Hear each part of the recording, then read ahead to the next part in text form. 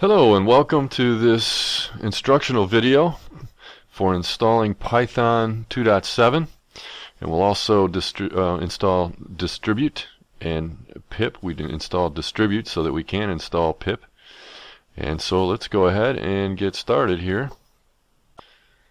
So first thing we want to do is install Python. Let's go ahead and find it. Search for Python here. I'm going to use Google as my search engine and this top link here www.python.org I'm going to go ahead and go out to that website and I'm going to click on download here. And as it says right here that the current production versions are Python 2.7.3 and Python 3.3.0 so that's uh, the case as of the creation of this video. Now I'm going to scroll all the way down here no, I'm not. I'm going to scroll right to here. And uh, this is a Windows 8 machine with a 64-bit microprocessor, and so I'm going to go ahead and install uh, Python 2.7.3 for 64-bit. Uh, so I'm going to click on this link right here. This is the MSI installer.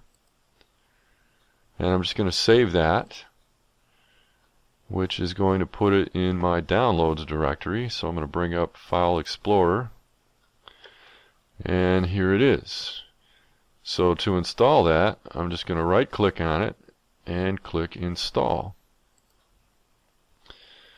And it brings up the installer. I'm going to go ahead and accept defaults on this and you'll notice it's going to put it right at the root of my C drive, which is my system drive. It's going to put a directory there called Python 2.7. And I'm just going to install everything. And now you, you don't see it, but there's a, a, user access control dialog box asking me, do you want to allow the following program to install software on this computer? It's the usual dialog box. I just clicked yes on it. So it's going to go ahead and do the install now. So it's kind of nice, uh, just a, a, a nice installer that's been put out there for you to install. Now I'm installing 2.7 uh, even though most of my work is going to be in 3.3 uh, because there's some tools that I want to use that are written for 2.7. One of them is Mercurial and uh, there may be some others too that I want to uh, put out there that are not converted yet for Python 3. So it takes a little time to install all the files, but we'll get there uh, pretty quick here. Another thing that I'm not going to install is virtual environments for 2.7. 3.3 has its own built-in virtual environments, VENVs they call them, v VNVs. So uh, that's what I'll be using for my actual development. Uh, but if you're going to be developing with Python 2.7, that might be something that you want to install. It probably is. So I'll click on Finish here. So let's go take a look at the C drive, and there it is. So here's the Python 2.7 directory, and you can see uh, the different folders, uh, site packages. This is where uh, different packages will get installed. so um, now the first time I installed this, it asked me to do a, a restart of my computer. Uh, that didn't happen this time, uh, probably because I had it installed already, deinstalled it, uninstalled it, and reinstalled it. So now let's go ahead and I'm going to go back to Google here in the browser. And by the way, I'm using Firefox, as you can see from the icon up here and up here. Uh, so let's uh, let's go look for Python distribute.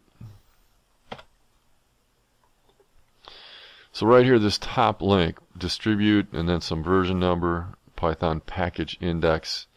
So I'm going to go right out to there. And at the time of this video, the current version is 0.6.35. It's the latest version and I'm going to scroll on down here to the bottom and you'll see this uh, zipped up tar file here. I'm going to go ahead and download that file.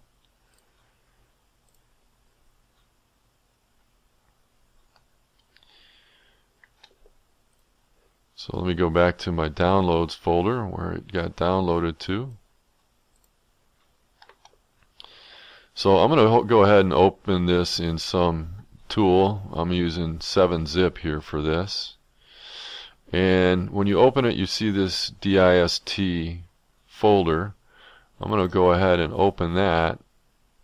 And what you see here is a tar file. I'm going to open the tar file in 7-zip here. Yes, indeed I am. I'm going to have to use file open, open inside.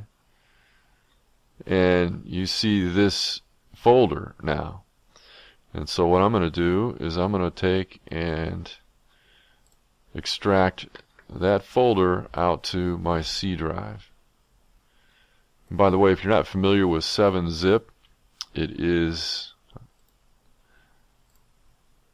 a free uh, zip utility So uh, here's distribute now installed out there uh, uh, at the root of my C drive.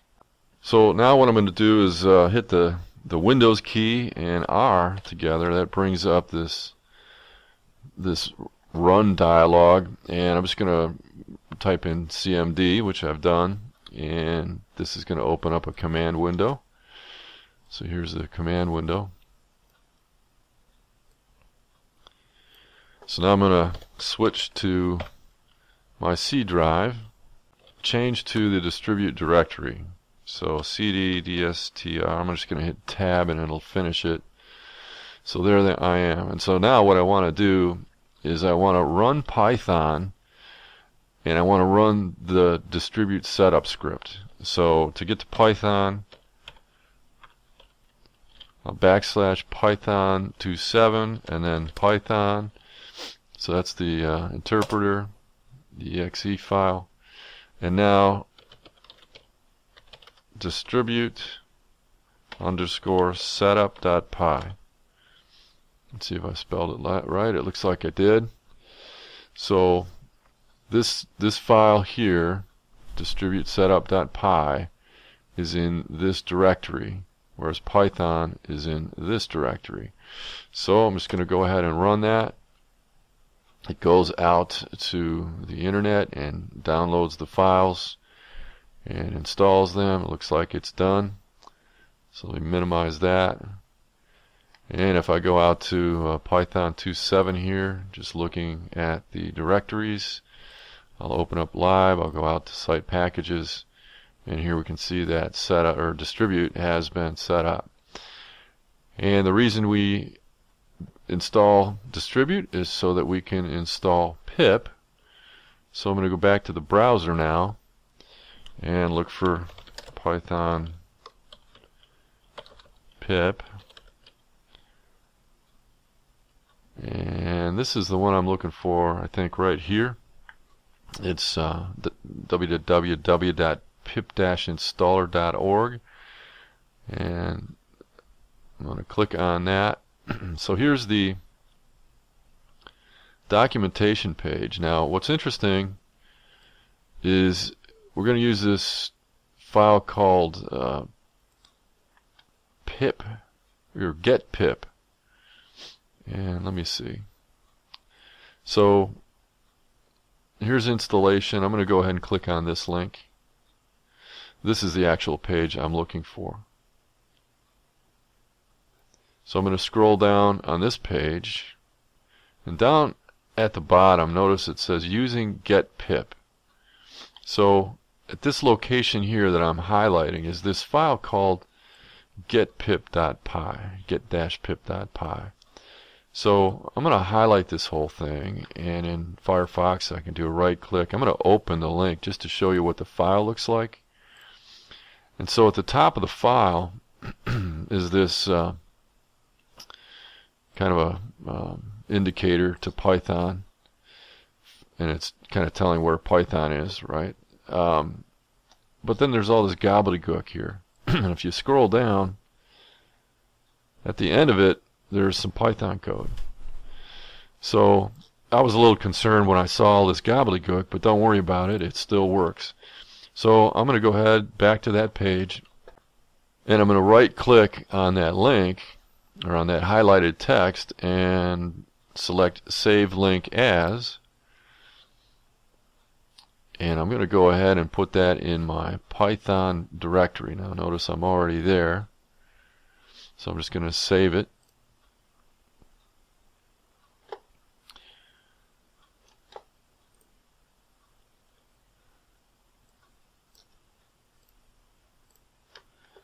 So here's the file.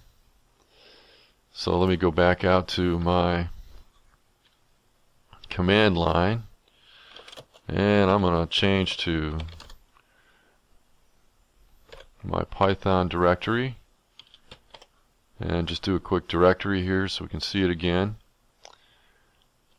And so now we're going to type in a command to run get pip. And so that's just very easy python get dash pip dot py and hopefully that will run.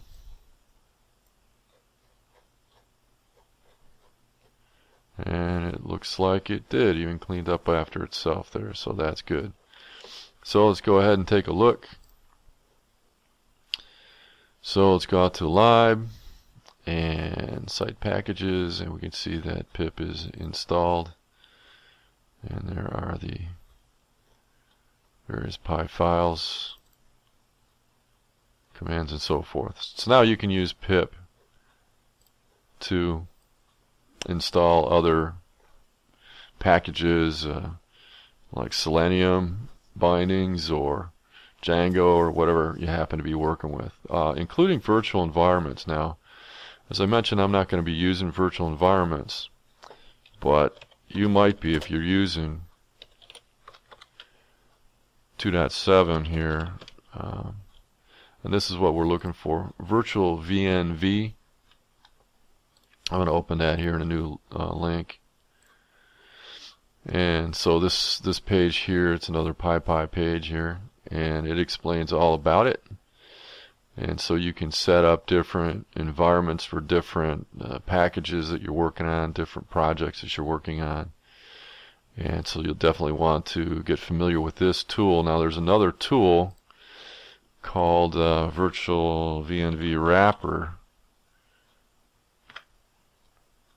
And um, just go out to Google like usual and find it. And so this this is just puts a wrapper around virtual environment uh, to make the commands a little easier. It's it's just some scripting around it. So you'll be interested in that as well.